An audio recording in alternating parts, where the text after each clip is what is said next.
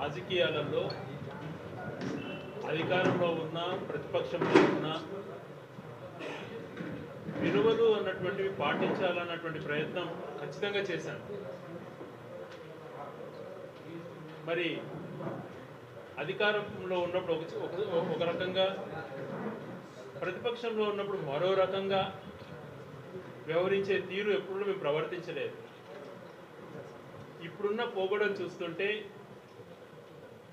ప్రజాస్వామ్యం పైన గౌరవం ఉన్నవాటి ప్రతి ఒక్కరూ కూడా బాధ కలుగుతూ ఉంది.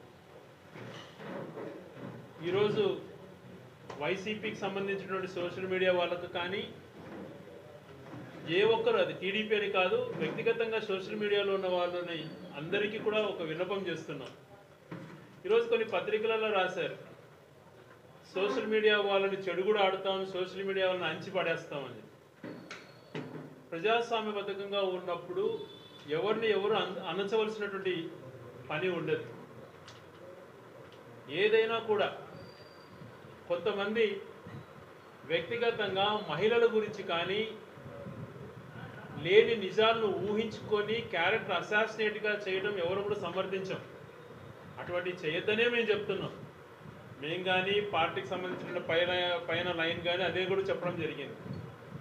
వ్యక్తిగతంగా మహిళలను కించపరిచే విధంగా సమాజంలో అతని చేయని నిజము లేనటువంటిది అవాస్తవంగా చిత్రీకరించి క్యారెక్టర్ అసాసినేట్ చేసినటువంటి పద్ధతులను అవలంబించద్దు అన్నటువంటిది అందరికీ కూడా చెప్పాం. అవి మేము కూడా ఆ డైరెక్షన్స్ ఖచ్చితంగా ఇస్తున్నాం.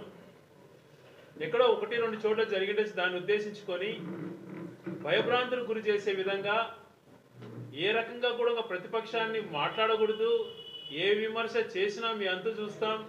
అటువంటి రీతిలో ప్రవర్తించడం సరైనటువంటిది కాదు అని చెప్పి తెలియజేస్తున్నాం.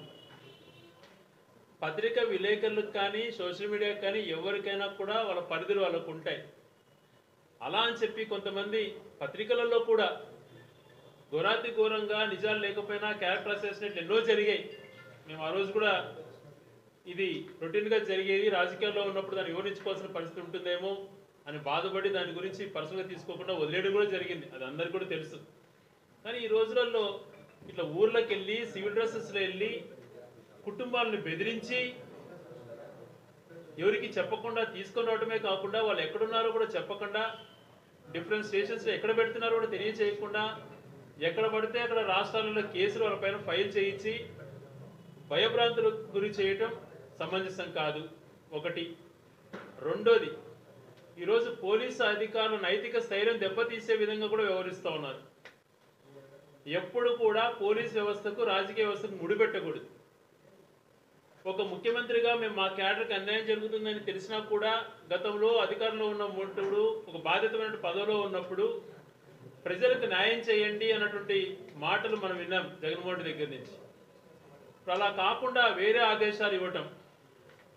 ఎక్కడో ఒక చిన్న ఇన్సిడెంట్ బేస్ చేసుకొని ఐపీఎస్ అధికారులు మనోభావాలు దెబ్బతినే విధంగా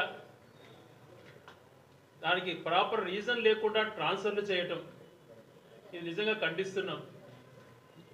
దారుణాది దారుణంగా ప్రతి ఊర్లో పసి పిల్లలను రేపు చేస్తున్నారు అత్తాకోడలను రేపు చేశారు దారుణంగా చంపబడుతున్నారు.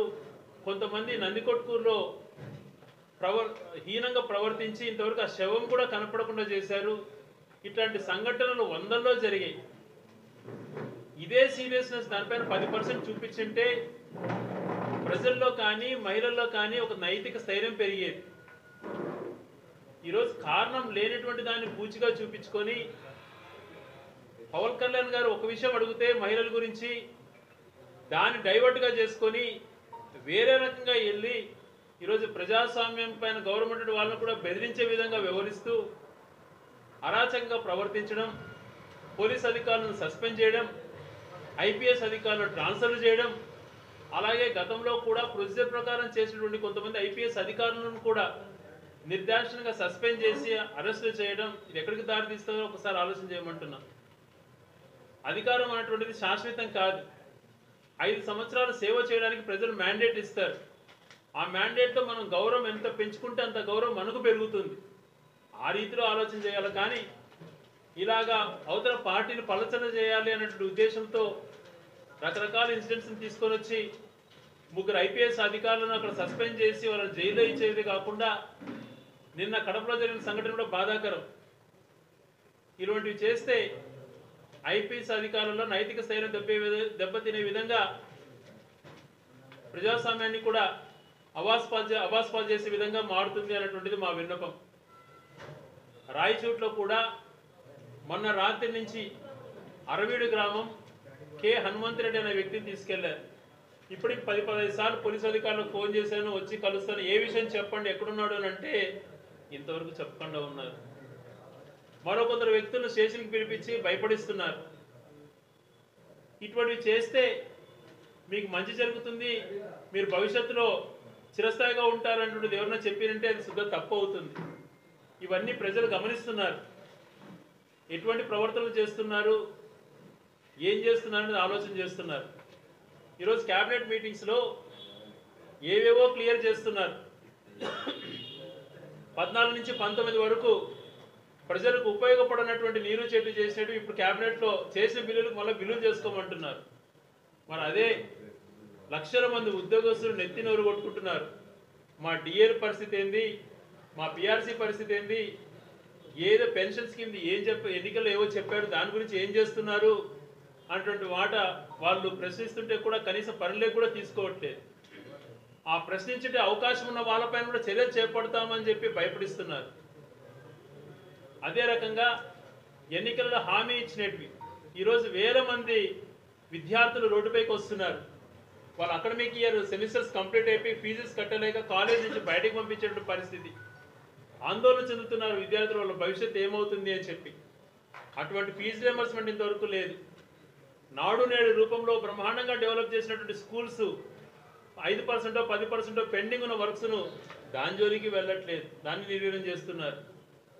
అలాగే ఎన్నికల్లో ఇచ్చినట్టు చాలా హామీలు మహిళలకు ఇస్తానటువంటి నెలకు పదహైదు వందలు యాభై ఏళ్ళకు పెన్షన్లు ఇలాంటివి ఎన్నో కార్యక్రమాలు ఉన్నాయి. అవన్నిటిని కూడా చేపట్టట్లేదు. రైతుకు సంబంధించినటువంటి విషయాలలో అస్సకస్సాలు పడుతున్నారు. పెట్టుబడి నిధి వాళ్ళకి ఇది చేయలేదు. ఇటువంటివన్నీ చేయాలంటే ఆలోచన చేయకుండా ఎక్కడ ప్రభుత్వాన్ని ప్రశ్నిస్తారో ప్రశ్నించకుండా ఉండాలి అనగదొక్కేయాలి ఆదిలోనే అని చెప్పి నిర్ణయం తీసుకోవటం ఈ రకంగా అనగదొక్కే విధంగా ప్రవర్తించడం మంచిది కాదు అని చెప్పి తెలియజేసుకుంటూ ప్రభుత్వ పరంగా ఎప్పుడైనా కూడా మంచి చేసేటువంటిది ఏదైతే ఉందో ఆ మంచి చేసే విధంగా వివరించాలి కానీ అలా కాకుండా ఇలా దుర్మార్గంగా వ్యవహరించడం సరైనటువంటి పద్ధతి కాదు అని చెప్పి అదే ఏదైతే వీళ్ళు అరెస్ట్ చేశారో హనుమంత్ రెడ్డిని ఇప్పటికైనా వెంటనే వాళ్ళ తల్లిదండ్రులు కానీ వాళ్ళ భార్య కానీ చాలా టెన్షన్లో ఉన్నారు. ఎక్కడున్నారు అబ్బాయి అన్న చెప్పి పోలీసులు ఒక స్టేట్మెంట్ అన్నా ఇవ్వాలా అని చెప్పి మీ ద్వారా పౌర మీడియా ద్వారా పోలీసు అధికారులకు విజ్ఞప్తి చేస్తూ మీలో కూడా నైతిక స్థైర్యం ఉండాలి. ఈ ప్రభుత్వం బెదిరింపులకు ఏమి కావద్దండి. సిస్టమ్స్ని గౌరవించే విధంగా మనం చదువుకున్నప్పుడు కానీ మనం పట్టా తీసుకున్నప్పుడు కానీ ఉద్యోగం తీసుకున్నప్పుడు కానీ దేనిపైనైతే ప్రమాణం చేశామో దానికి బైండ్ అయి ఉండాలని అన్ని వేళలా ప్రజాస్వామ్యం కాపాడేటువంటి వాళ్ళకు ఎప్పుడు మీ సపోర్ట్గా ఉంటామని చెప్పి తెలియజేసుకుంటున్నాను.